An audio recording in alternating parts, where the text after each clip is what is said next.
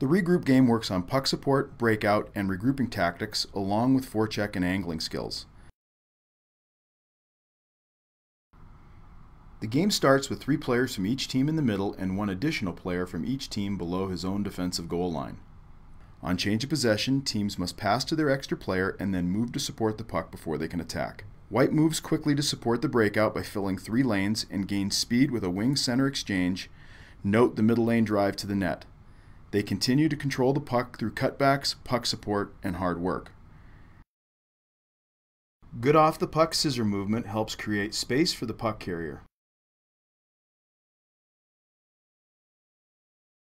Since blue has good defensive side position, white decides to spread out the defense by using their extra player. All three players move back to support the puck, creating options and speed. Blue is now in an F1 forecheck situation and should use skating skills, body and stick position from the middle of the ice to angle and eliminate the puck carrier. However, Blue decides to take a straight line to the puck and gets beat. Blue now fills all three lanes with good puck support low, allowing for an easy breakout. Through good angling and stick on puck play, White causes a turnover. Here, White does a good job of protecting the puck in a defensive zone scrum and finding their open man when the play develops.